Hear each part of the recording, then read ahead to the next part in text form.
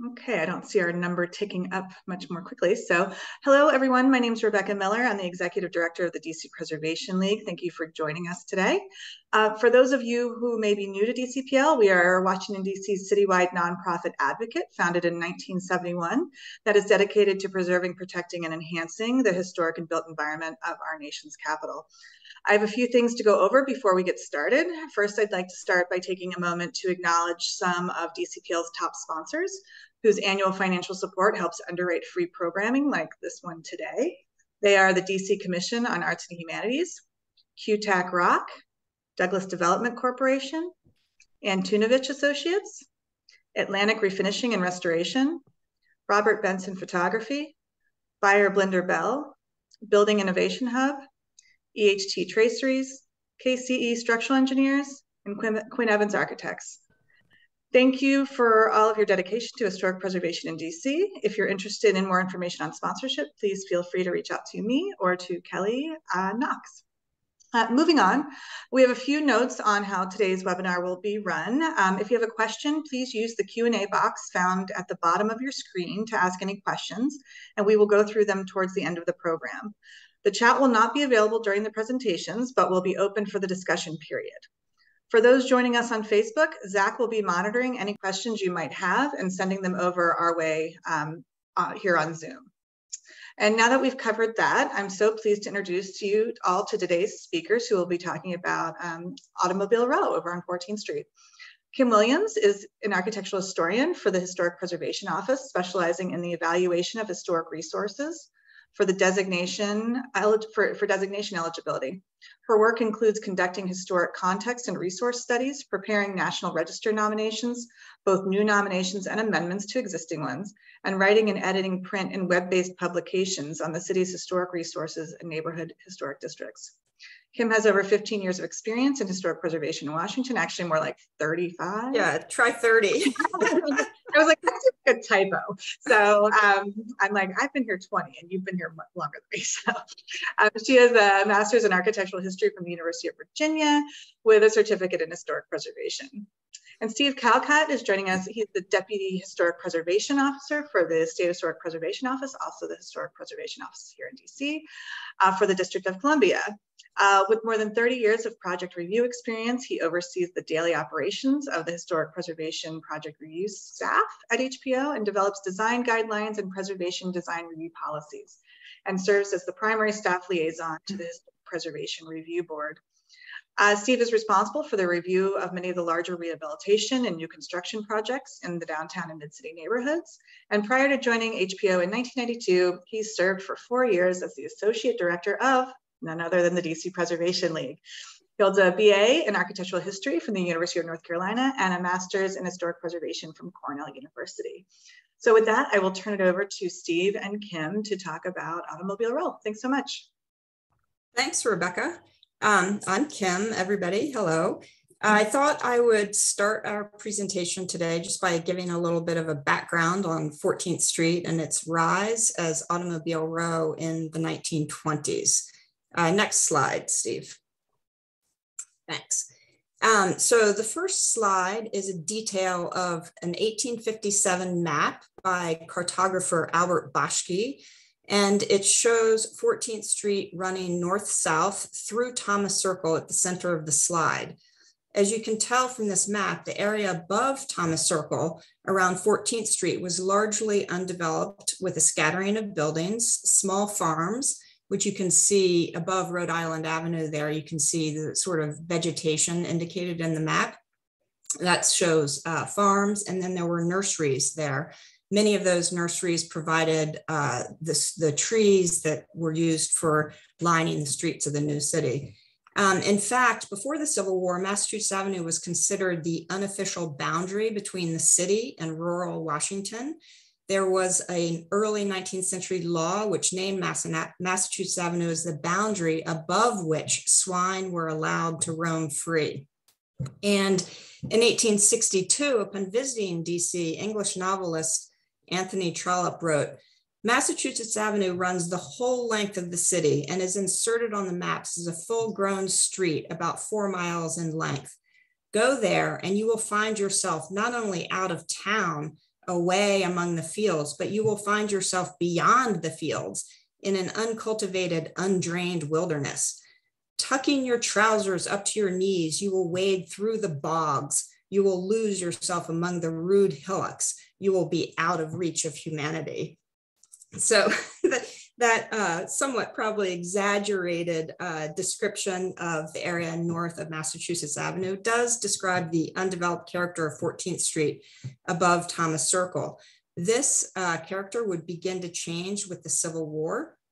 And the war necessitated the development of the city's first streetcar lines to help move troops and refugees into and out of the city. These lines, including one laid along 14th Street from New York Avenue to Boundary Street, provided access to the Civil War forts, the camps, the refugee settlements, asylums, and hospitals that were built on the outskirts of the city. These streetcar lines were not limited to this wartime use, however, but they generally served the growing population and they opened up undeveloped areas uh, for residential growth.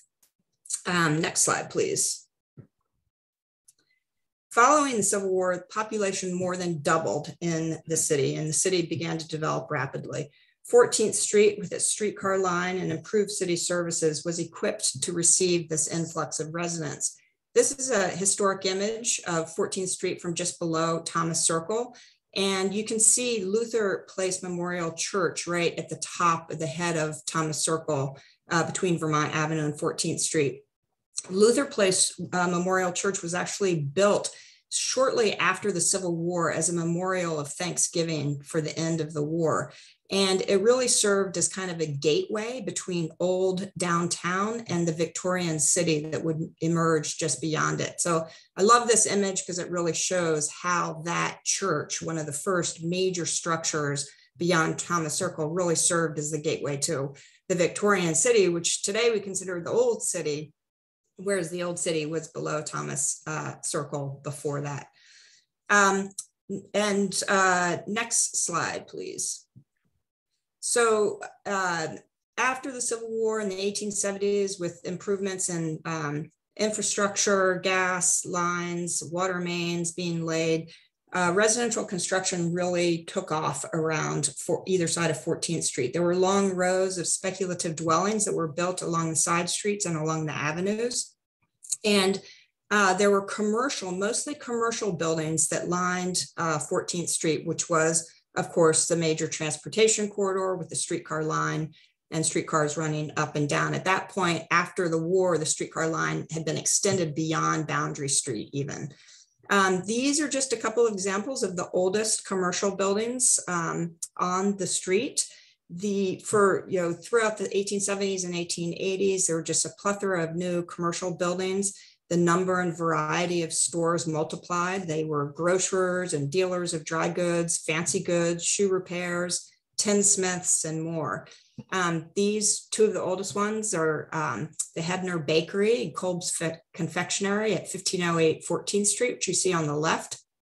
This building was built in 1864, completed by 1869, as really a small commercial structure that may have just been one story tall. But by 1874, this German baker, Martin Hebner, moved in. He operated his bakery out of the, the first floor and he added the two floors above where he lived. And then in 1904, John Kolb, a confectioner, uh, moved in, and you can see he built the pediment with his name in the center of that pediment, which you can see still exists today. And then the Samuel Lewis Pharmacy. This is a building at the corner of 14th and P Streets. It's a great Second Empire style building with a pharmacy was in the corner uh, ground floor level. And um, the uh, pharmacist lived in the upper two floors uh, with his family. Uh, next slide, please. But after the invention of the automobile, there was, of course, a need to store, display, and repair these new machines. Uh, they were often referred to as machines in uh, period uh, uh, press of the time. And according to period trade journals, the sites for automobile showrooms were chosen with great care. Primary consideration was given to streets with heavy pleasure traffic, but that were far enough from downtowns to avoid excessive costs in land. So 14th Street as an important transportation route leading into and out of the city, its heavy streetcar and pedestrian traffic and its location just beyond downtown proved an ideal site for the rise of automobile related buildings. To begin with, and before the development of the automobile showroom as a building type, dealers altered existing buildings to accommodate this new use. And this is an example of um, one of these alterations of a historic building. This was built, this building was actually three attached Queen Anne uh, commercial buildings built in 1888. They all had projecting bays, as would be typical of a Victorian Queen Anne building. Um, but they were remodeled by uh, the Luttrell Company, who is the distributor of the Pontiac and Oakland cars. And according to the building permits for this alteration, the remodeling called for cutting off the bay windows and applying stucco over the brick. And um, it also involved uh, adding the large show windows on the first floor um, and introducing the pilaster separating the large show windows um, from the first floor up to the second floor. Uh, next slide, please. Uh, the very first purpose-built automobile showroom was constructed in 1904 on a still vacant lot. There were not that many vacant lots left on 14th Street by then, but there was at least one. Um, and this, the construction of this building, it was built for the National Automobile Company, uh, is shown on the left in its original uh, uh, physical appearance anyway. And it attracted significant attention in the local press for being designed as, as an automobile building, specifically for the sale of automobiles. And articles on the building's construction touted its interior features that included men's and women's reception rooms, chauffeur rooms, lockers, and offices, and a storeroom. It also had a storage capacity for 100 to 150 cars on the second floor. And it had a repair garage at the rear of the building uh, at the alley, on the alley that would be approached from the alley. Um, the image on the right, you can see is taken after some alterations were made to the building in 1924 to 1927. Um, the building, which had exposed brick, was altered and stuccoed with a sort of scored stucco and uh, new windows were put in the ground floor from the smaller arched openings to larger, wider rectangular openings. Uh, next slide, please. By the early, uh, by the late 19 teens and early 1920s, there was a profusion of new automobile showrooms that began to replace the smaller and older Victorian buildings along 14th Street Car dealers commissioned architects to design new and elegant buildings according to advice provided by the manufacturers. The manufacturers recommended that dealers hire architects largely because well designed showrooms would increase sales and bring a financial return and investment to both the dealer and the manufacturer. Manufacturers also recommended corner sites which would provide full principal street frontage for the ready display of new cars for sale, but also more discreet access to rear uh, repair shops and garages located uh, at the rear of the buildings. And here in the slide, um, you can see on the right, which is T Street, on the right side of the slide, um, you can see the service access. It's a sort of a small door with a little marquise there. That would have been the pedestrian entrance to the service uh, part of the building at the rear of the building. But of course, corner sites along 14th Street were limited, and so it prevented the dual role of showroom and repair facilities in a single building. So instead, repair facilities and garages were um, constructed nearby along the corridor's minor streets like Church Street, Less attention was given to the design appearance of the service buildings, giving these streets their semi-industrial character uh, today. Next slide, please. Manufacturers also emphasize that architectural design should not be limited to the exterior of buildings. The interiors needed to be elegant spaces. The goal for dealers, according to the manufacturers, was to convey an image of luxury that the buyers of automobiles were already accustomed to. This is the interior of the True Motor Company building. And uh, next slide, Steve. Thanks. And this is an exterior of uh, the True Motor Car Company. Um, showrooms often reflected exotic building styles like the theaters of the day.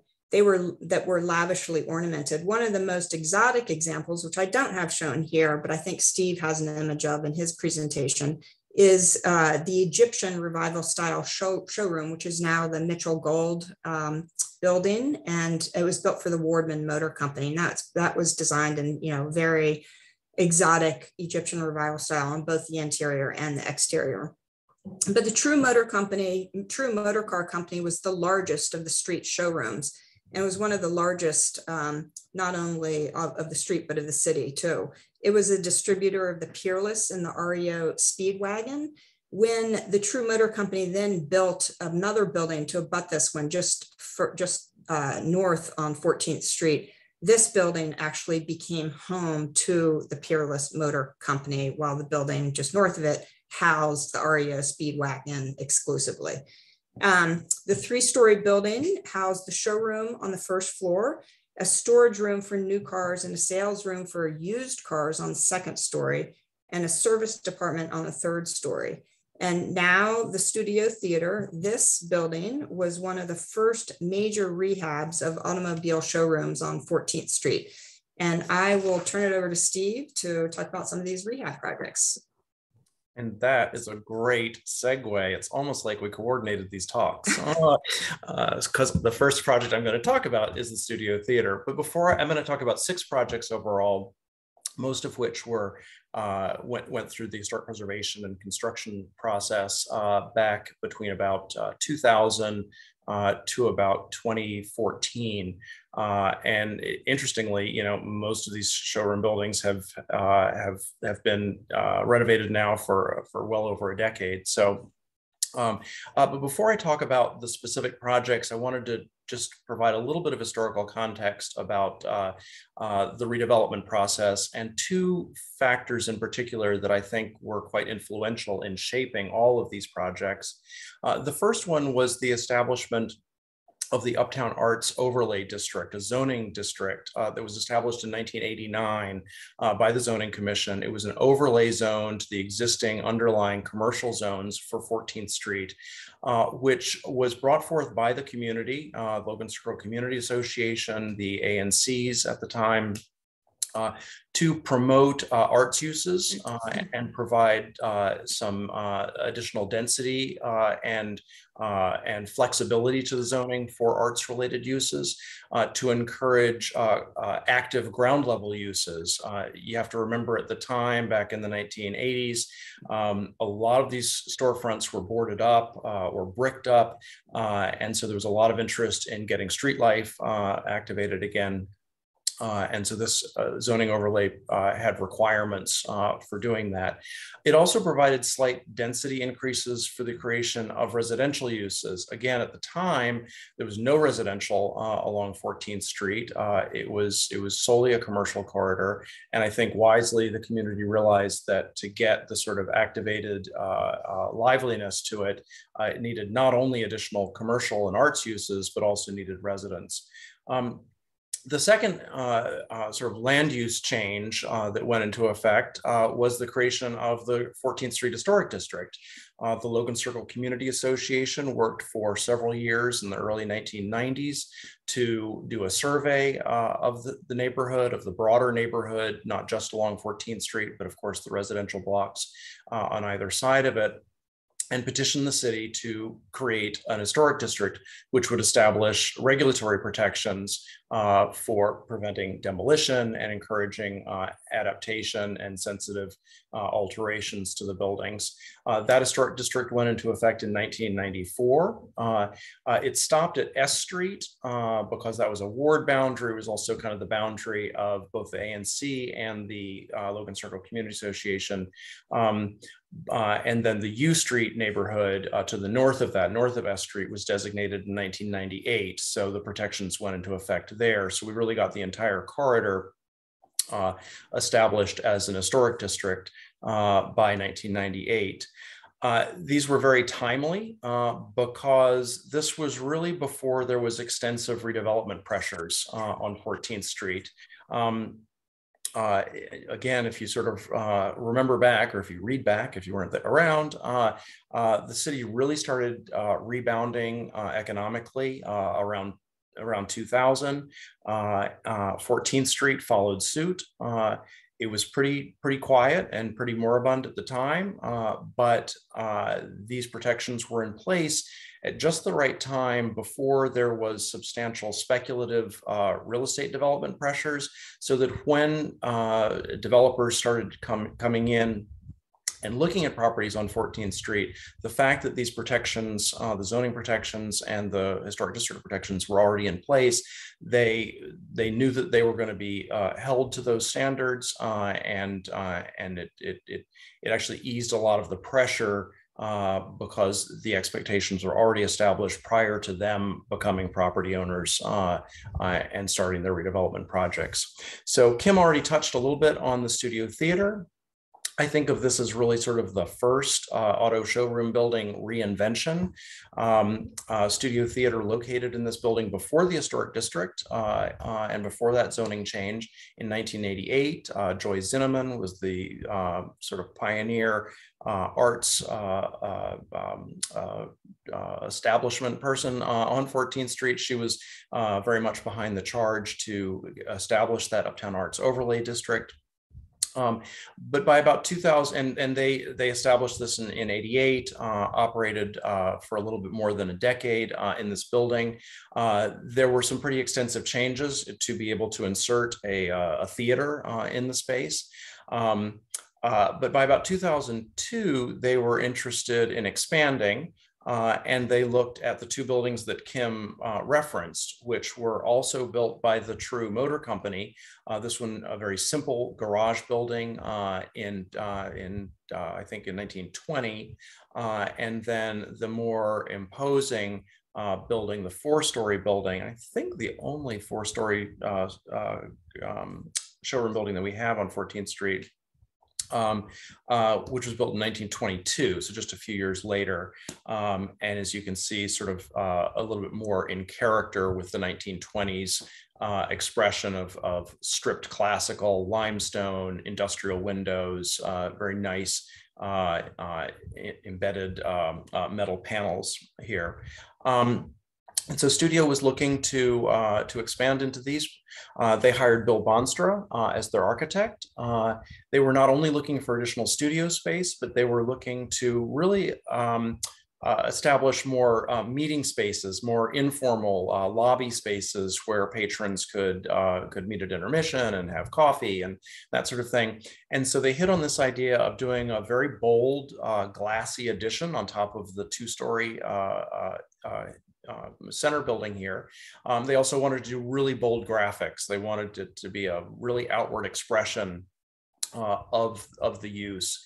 Um, and uh, interestingly, uh, sort of both of those you'd think you know might run into sort of historic preservation concerns. There was some negotiation uh, uh, about about about this, but ultimately the review board, although they had typically had and and still do have a policy that discourages visible roof additions on historic buildings, in this instance they thought that the very simple nature of this building, uh, of the center building, uh, and uh, and the as well as the sort of light glassy nature of the addition, uh, they thought that this was uh, was was uh, acceptable as as a preservation solution.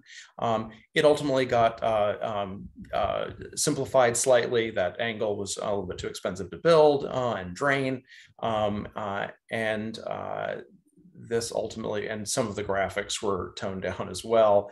Um, but uh, this sort of uh, set the stage for, as one of the first projects that went through the historic preservation review process, for um, maybe considering these auto showroom showroom buildings a little bit differently. Maybe they don't uh, you know don't apply all the same rules uh, to them and, and by that i mean uh, perhaps some of them as, as, sort of big strong industrial buildings can support uh, visible roof additions if they're designed in this sort of light glassy vocabulary. Um, and that also finding that balance between uh, preservation and the community's desire for an arts district and and having something on this building that clearly expressed uh, its its arts uses uh, was open again remembering that uh, so many of the storefronts had been boarded up, doing a very glassy open edition where people could look up and see people circulating and and, and going to the theater uh, was uh, was was valuable in terms of providing activation. Uh, this is how the project, of course, turned out. Uh, I don't have slides. Uh, it's, it's, recently gone through a, another remodel, uh, and the canopy and some of the struts have been uh, have been modified slightly, and it's got a big bold studio sign on top of this building now.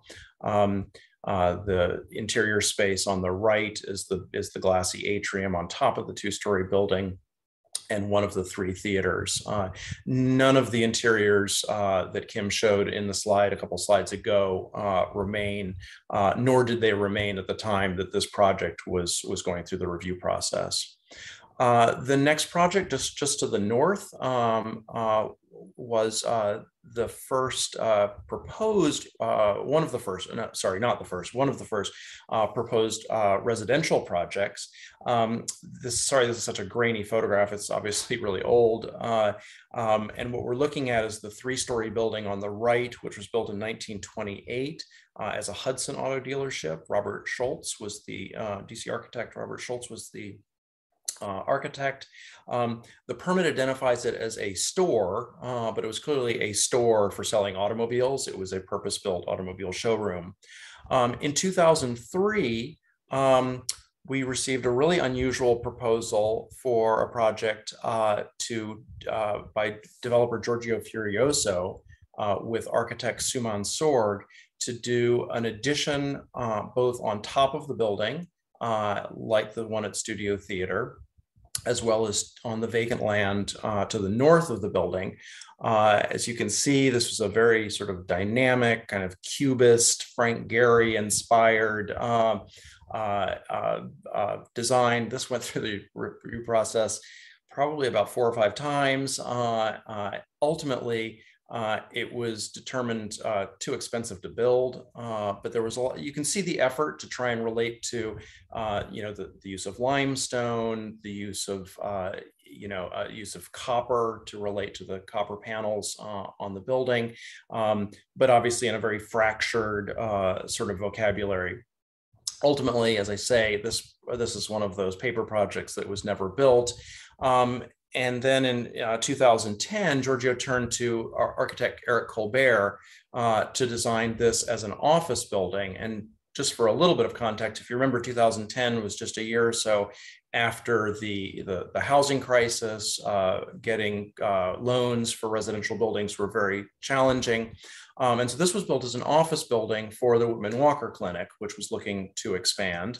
Um, and uh, and as you can see, the uh, it, it, it, abandons the the cubist vocabulary uh, for a little bit more ordered uh, uh, uh, composition of of parts in which there's you know the sort of a, a play on the auto showroom building um, vocabulary of large windows with masonry for the uh, with very vertical proportions uh, on the left hand side, uh, and then a little bit more of a backdrop component uh, with the metal and glass, higher proportion of glass uh, for the other for the other pieces of it. Um, the uh, auto showroom building itself was repurposed as a restaurant, now Sotheby's realty office, um, and art galleries above. Uh, and uh, and then the office building is really an independent building kind of around and on top of the historic building. Uh, and then some sexy photographs that I got from Eric Colbert's website. So thank you for that, Eric. Better than my photographs, uh, uh, in which you see it in the context of the street. Um, across the street on the other side uh, of 14th Street, you see uh, a series of four auto showroom buildings. Um, 1510 and 1520 are on the south side of Church Street, two matching buildings designed by local architect George Ray in 1928. And then on the north side of Church Street uh, is 1522 and 1526 14th Street, um, the first one, uh, 1522, was designed by A.O. Hebulus, who I don't know who that is, Kim. Do you know who that is? Um, I don't know much about him, but he was an Austrian architect, and I don't Yeah. know how. Yeah, I don't really know how. He wasn't a prolific DC architect. Right, right. Um, and that was designed for the Hurley Motor Company. Uh, and then the uh, Egyptian Revival building that uh, Kim was referring to uh, is the next one, designed in 1925 by B. Stanley Simmons, who you've seen his name uh, for several of the other buildings. Clearly had a little bit of a lock on uh, on the auto showroom uh, uh, uh, industry. Um, these buildings were uh, owned by the Unification Church, uh, uh, dating back from the 1970s and even a little bit earlier. Uh, developer Scott Panic uh, uh, struck a deal to buy all of these buildings. Um, did very high quality rehabilitations of their exterior elevations. Um, relatively modest one story addition on the buildings to the north. Uh, this is a, a, a, sort of a cutaway water view, watercolor um, that you, obviously is, is sort of artistic uh, and shows all the, the way down Church Street. Um, and what's sort of interesting about this is that it began to establish how Church Street was redeveloped through the preservation review process, which was to break um, new construction down into sort of smaller component parts so as to not overwhelm the few remaining historic buildings there and establish a little bit more of an organic feel uh, to that street with varieties of heights and setbacks uh, and architectural expressions. Uh, and then uh, a very neutral uh, uh, expression for the rooftop addition pulled very, very far back so that it wouldn't be visible at all from 14th Street. Uh, this is the addition as seen uh, on Church Street. Uh, this is the south side of the street, the two buildings designed by George Ray at the front. Um, you can kind of see in this picture that the, uh, it, it, as you see, it turns to a, a, a brown brick uh, one bay in.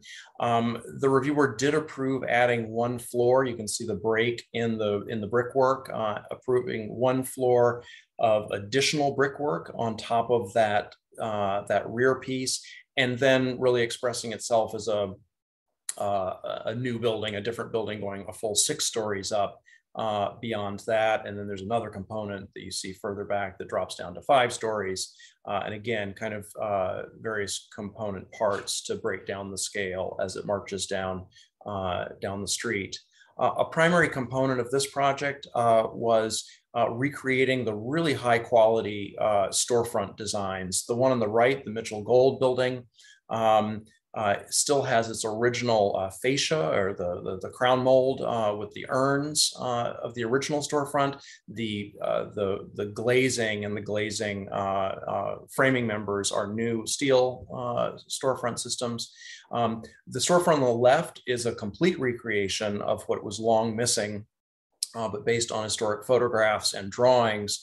Uh, and you see the really decorated sort of acroteria uh, at the top of that, uh, which uh, to my knowledge is, is sort of the, probably the most decorated storefront uh, of any of these showroom buildings uh, along 14th Street. Um, what I don't have, unfortunately, is a photograph of the interior of the Mitchell Gold building, which is one of the very few buildings which does still have its interior.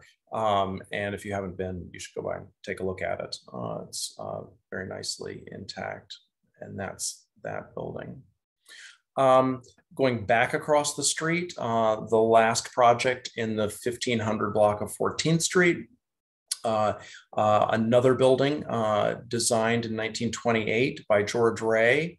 Um, this project includes uh, the the vacant lot to the to the to the right or to the south uh, of the showroom building, which is kind of hidden behind the tree, as well as the vacant site to the north or to the left of the uh, of the showroom building. As you can see, the showroom building, you can sort of see the showroom building's uh, windows were still intact, but they were about halfway bricked up.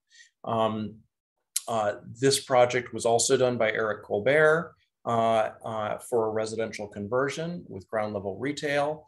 Um, this is the first instance of a project in which the new construction was influenced pretty directly by the character of uh, the auto showroom buildings. As you can see, again, they, they sort of broke the project down into three pieces. The showroom building is in the center, uh, sort of a kind of a maybe a uh, sort of a Edwardian era uh, kind of styled building on the right, the five story piece, uh, and then the six story piece on the left, uh, which I think in its vocabulary and detailing, you can understand that it's contemporary new construction, but clearly influenced by the proportions, the monumental uh, piers, uh, the attic story, the, the sort of stepped parapet uh, of the of the street's auto showroom buildings. Uh, and in, in greater or lesser degrees, this was a trend that uh, other new construction, some other new construction projects followed.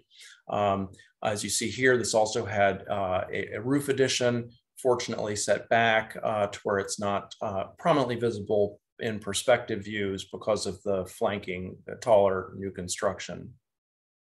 Um, and this is just viewing it in context uh, with uh, very nice cleanup of the original windows uh, and, and metal panel system and uh, a recreation of the original storefronts. Uh, the original storefronts were not really salvageable, uh, but a, a nice, uh, nice attention to detail on those as well. Uh, and other direction. Um, moving up to the 1600 block uh, of 14th Street, the possibly, I actually said before, the other one was the only four story. This this is obviously four stories as well. Um, uh, 1631 14th Street, the Central Union Mission, uh, was built in 1922 as a Studebaker showroom uh, by Frederick Pyle uh, with the Wardman Construction Company. The site also included uh, what had originally been three Victorian sort of Queen Anne row houses to the right. You see two of them here the one on the on the very end with the red tile roof uh, was a Victorian, uh, one of the one of the three in this row, all of which also had projecting bays originally. Um, but it was completely refaced uh, in 1911 with a facade by Appleton P. Clark in uh, what you can see as kind of a mission arts and crafts uh, style, um, uh, specifically for uh, the sales of auto parts. Uh, the other Victorian townhouses um, had largely been gutted uh, in the 19 teens or 20s with um, concrete frame construction being put in because those were converted to uh, for use as an automobile garage. Uh, and then of course the, the corner building uh, was an auto showroom uh, and served as in a variety for a variety of different uh, showrooms over the years. Um, in 2012, uh, this uh, site was all assembled uh, and a project uh, developed for conversion to residential and retail use. Um, uh, with uh, restoration of the the Victorian buildings back to at least on the upper two floors, but with new storefronts on the first floor. Um, uh, uh, recreation of the original storefronts on the corner mission building itself, the Studebaker Show House. Uh, they kept the come unto me uh, uh, sign from the mission because they thought it was just a cool part of its history. Um, and then on the Appleton Clark building, uh, they located the original storefront plans for that. Uh, and it included this really unusual detail in the transom design, in which it's, as you see, it's an abstracted tire. Uh, um, so this was selling tires and an auto showroom uh, or auto parts. Um, and this was sort of a mimetic uh, expression uh, of the uh, of the use within. And so that was that was very satisfying to get that recreated. And then the last project, which uh, Kim already showed you this photo, uh, the Taylor Motor Company, uh, built originally also by. Stanley Simmons in 1919. The four-story addition on the left uh, was uh, built in, uh, in 1922, just a few years later. Um, this was uh, used for, after Taylor, it was used as a Ford dealership, an Oldsmobile dealership. Um, and then for many years in the mid 20th century, uh, up until the 1990s, was used as a church, an evangelical church, Church of the Rapture um, which um, uh, ended up selling uh, this. Uh, initially, uh, there was a proposal for residential development uh, for adding three floors on the back of it. that ultimately did not go, did not um, did not pan out economically. Again, it sort of failed as part of the um, the downturn in 2008. Uh, and then in 2009 was bought by uh, Room and Board for their flagship store. Um, uh, and again, you see uh, the same idea as Studio Theater set forth uh, uh, a decade earlier, the notion of gaining a little bit of additional space by doing a glassy addition on top. this went through the review board process with a lot of modeling to understand uh, how this was going to look. Uh, um, it's set back to the first structural bay uh, on both the uh, T Street and the 14th Street side, so no need for sort of internal, additional internal structure.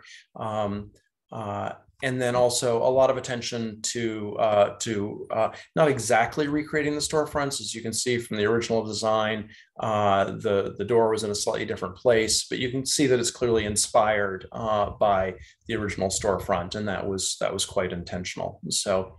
Um, so those are the projects, uh, and uh, I, if I had had, you know, maybe one more day, I could have come up with some great conclusion to like wrap all of this together. But um, uh, again, I think you see some of the themes uh, that emerged through the historic preservation process, uh, as well as the as well as the results, which um, I think you know 14th Street is one of the greatest streets in DC in terms of its liveliness, in terms of its architecture, uh, and in terms of its reinvention of these historic buildings. Uh, so. Um, but I'll be fascinated to hear what other people have to say. Uh, and so fire away with questions if you have any. Thank you, Kim and Steve. Appreciate it. Um, one question that I have before we get started, um, is there any way to determine the economic impact that this has had on this neighborhood? Or has there been any studies done on that?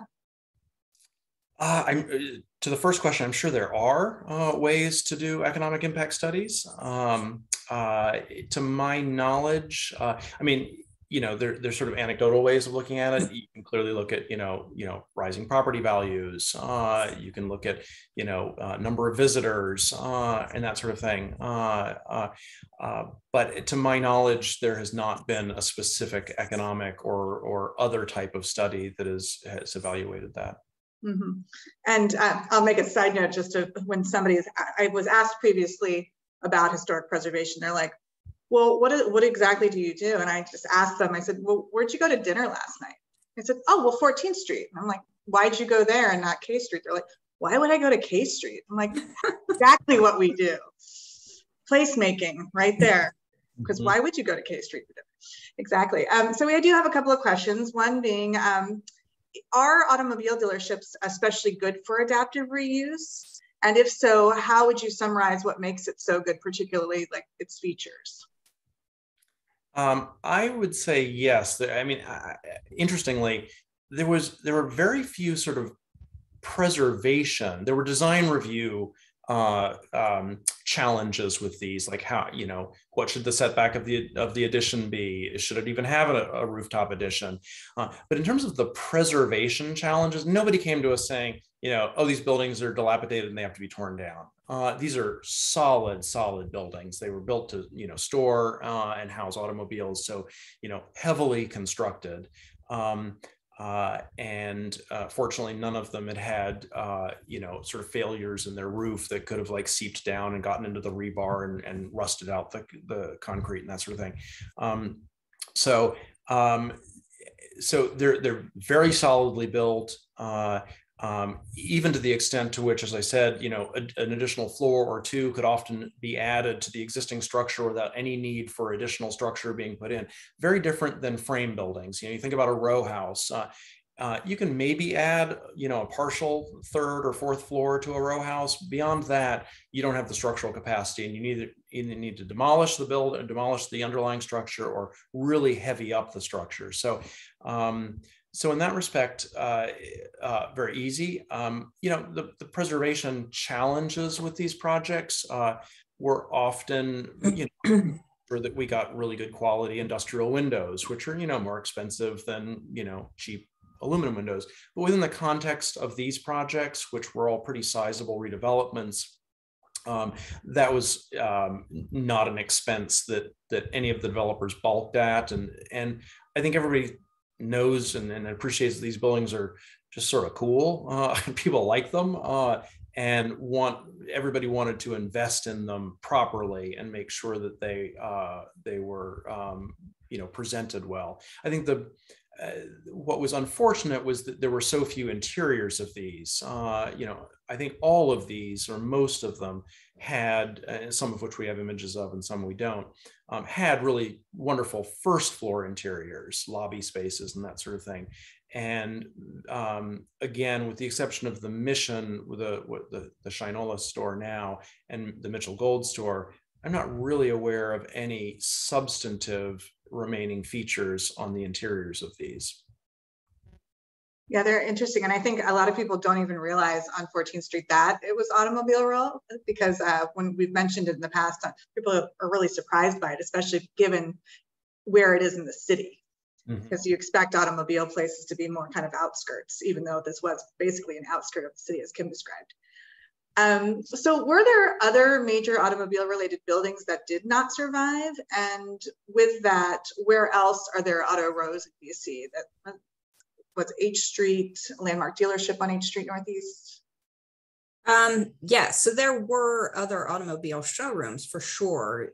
14th Street had the greatest density of automobile showrooms, and it was actually dubbed Auto, Automobile Row in the 1920s and 30s. So um, so it, it did have you know the greatest number and collection of automobile showrooms but there were some on h street northeast all of the transportation corridors had them um, connecticut avenue had quite a few um, that, that still stand. So the sims automobile company had its showroom at the circle at connecticut avenue where the pnc bank is today. That was an automobile showroom. Where la tomate restaurant is that was an automobile showroom.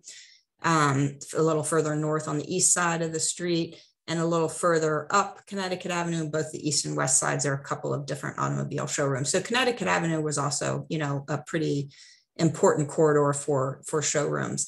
Um, but you're right. Basically, what happened was as um, suburban, you know, people moved out to the suburbs, automobile showrooms really moved out to the suburbs with them and it also was you know land was expensive in the district and it was preferably automobile showrooms were one story buildings. And so they occupied great footprints. Um, and getting that kind of land in city in the cities was was challenging. And that's why they did two and three and four story buildings but they would preferably do one story so as the suburbs offered that opportunity to do larger footprint single story buildings, uh, the showrooms moved out to the suburbs really um, mid century. So, but yeah, 14th Street has had not only historically the greatest density, it was dubbed Automobile Row during uh, its history, and it has the greatest number of surviving automobile showrooms.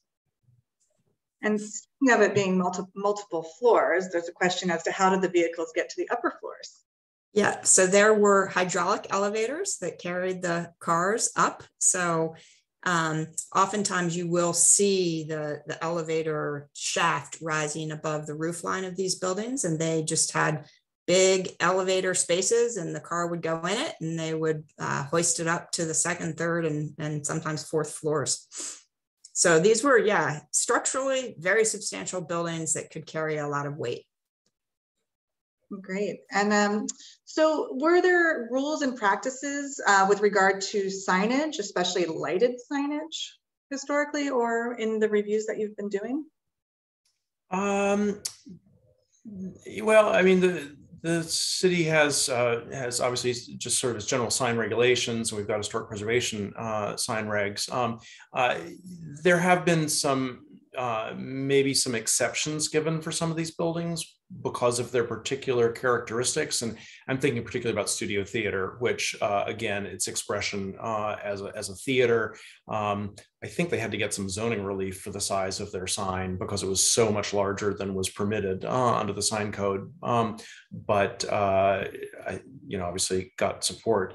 Um, so not not particularly. I mean again these are these are big buildings and so some like so i'm looking at the sign right now on the room and board. Um, that's a much bigger sign than would work on a little victorian three story uh, commercial building. Um, so to a certain extent uh, you know, the signage gets scaled to the size of the building, and on these bigger buildings, uh, maybe they it, it, can take take larger signage. Uh, um, but again, I think that it's always been sort of a play between the character of the building, the location on the building, uh, um, and, uh, and, and keeping in mind the arts district uh, that you know maybe some more creative uh, uh commercial signs uh, are appropriate for uh, for a lively neighborhood like this.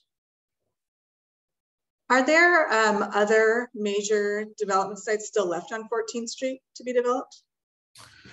Um, there probably are. Um, one site uh, is currently occupied uh, by non-historic buildings. Uh, um, uh, it's the the Frontiers housing site, which also has a big parking lot just south of S Street. Um, it's our understanding that there is um, a long-term effort to redevelop that. Uh, it doesn't involve any historic buildings or any auto showroom buildings. Um, uh, and then there are uh, smaller sites, uh, the southwest corner of um, 14th uh, and P, uh, the little one-story um, uh, Chinese restaurant. that is potentially a development site. Um, and, you know, I guess there's the potential for some of the smaller scale buildings to be collected together with maybe some development potential back behind them. Uh, but uh, as far as the big sites go, um, they're they're they're pretty much they're pretty much developed now. And one of the things that has been discussed um, a lot is uh, because of the building boom that we had back in the 2000s when a lot of these buildings were developed, is towards the end, right before COVID, a lot of re retailers were having their leases, their 10 year leases were coming up. And of course, the, the cost of um, retail space on 14th. Do you, do you find that the cost of retail space on 14th Street is higher than other areas or? is that something that i that's not something that i track uh i you know uh, I'm not in the leasing business, so uh, so I you want to be. I, I, no, I certainly don't want to be. Um, uh, I'm sure that there are uh, plenty of people that could answer that, but I'm just I'm, that's not my area of expertise. Mm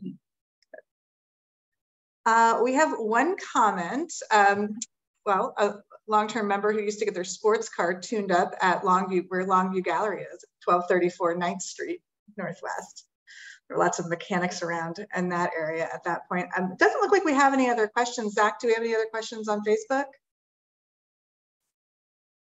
No, nothing else from Facebook. Okay, great, great. Um, well, thank you for joining us. Is there anything you'd like to sum up with, Kim or Steve? Uh, nope. Thanks for giving us this opportunity to talk about automobile showrooms. Always fun to go down a little bit of memory lane here uh, as you mentioned earlier when you introduced me, I've been doing preservation for 30 years in DC and surveying 14th Street was actually uh, my first architectural and historic resources survey. So I, I, it's one of my favorite streets as well.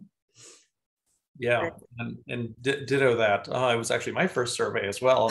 Uh, and I actually have a photograph of me surveying in front of the house that I ended up buying uh, like three years later. Uh, so, um, uh, and uh, yeah, it's been immensely rewarding seeing 14th Street go from what it had been uh, and just seeing all these buildings uh, revitalized and the whole street uh, revitalized. As I say, I, I think it's one of the most successful blends of urbanism and preservation and arts uh, and entertainment in in the city.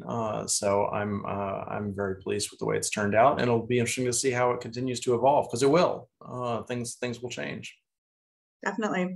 So thank you both for being a part of our adaptive reuse month. Of course, you know, a building that's occupied is better than a non-occupied building. So adaptive reuse is so important to what we do here with preservation in Washington. So I appreciate your role in it.